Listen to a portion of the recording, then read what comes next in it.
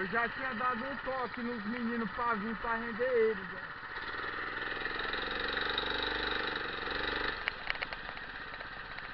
Ó, oh, tá indo.